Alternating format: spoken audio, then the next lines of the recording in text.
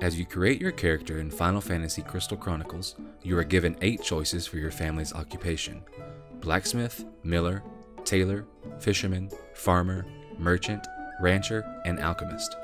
After choosing your family, they will set up shop in your town, and based on their production level, they'll provide a variety of goods and services. The production level is based on your relationship with your father, and the easiest way to increase the level is to simply speak to him twice at the beginning of each year. The increase in production level won't apply until the following year, however. And as far as what is offered by each family, we could break that up into essential and non essential. So let's start with the non essential. Fishermen, millers, farmers, and ranchers are all relatively similar.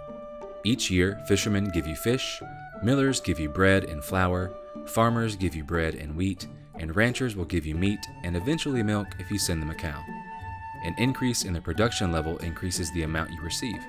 And the only reason I can see these occupations being useful is for a quick heal if you don't have a cure ring or the cure magicite. So let's just move on to the essentials. Merchants start off with a small selection of items to sell, and as their production level goes up, that selection increases. And in addition to purchasing from the merchant, you can also sell your unwanted items.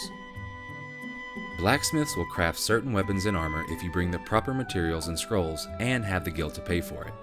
They start out with the ability to make base level items and will add higher level crafts as you increase their production level. Note that they cannot make every weapon and armor in the game, so you'll still need to travel to other towns to do that.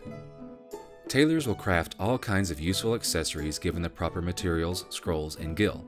Like blacksmiths, their crafting list also expands as production level increases. They also cannot craft every accessory, so you'll need to visit other towns in order to make them all. Note that with merchants, blacksmiths, and tailors, you are granted discounts based on your relationship with your father, paying full price at the lowest and getting up to a 65% discount at the highest. Alchemists will create new items for you every year starting in year 2. The quality of the items created increases as the production level increases. Unlike the previous three occupations, alchemists have 12 levels of production, meaning you won't be able to max out their level until year 13 at the earliest. And that covers it for the families.